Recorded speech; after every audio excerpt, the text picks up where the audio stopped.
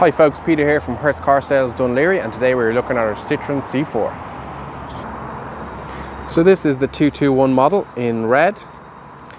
This is the Flair PureTech 1.2 petrol manual and as you can see also comes with our wheel, uh, excuse me, alloy wheels.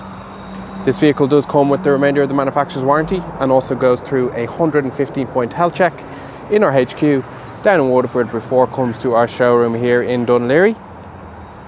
Now we'll just start off with the boot. We'll just open up the boot now. You can see we have our reversing camera there above the license plate alongside rear parking sensors. There's a good sized spacious boot with plenty of storage. And then underneath our two floors we have our tyre inflation kit we also have a rear folding seats which are on a 2-1 split and then a parcel shelf up top for added security. Just close that down now, come around to the rear. As you can see, three seats in the rear with a two color, three color uh, lovely cloth, some black trim on the top and bottom. We have two ISOFIX points on the side seats. Then in our center console, we have rear AC alongside a USB charging port. We do also have electric windows throughout. Now we'll step into the driver's seat. So we have our electric windows throughout, then our electric wing mirror controls. We have a multifunction leather steering wheel, which all our various vehicle controls, cruise control, speed limiter, and of course also our media controls as well. We have a digital display dashboard, and as you can see, this particular model has 67,261 kilometers on the clock.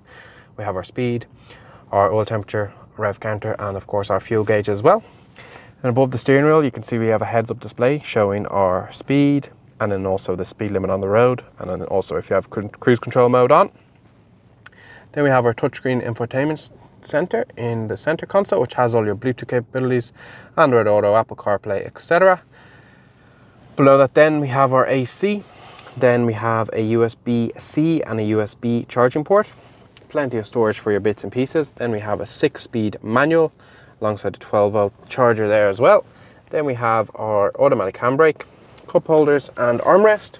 And just to give you another quick look at the seats, as you can see, black on the top with some blue and white trim throughout, then grey seat and then once again a bit of black on the bottom. We have our doors and our dashboard as well.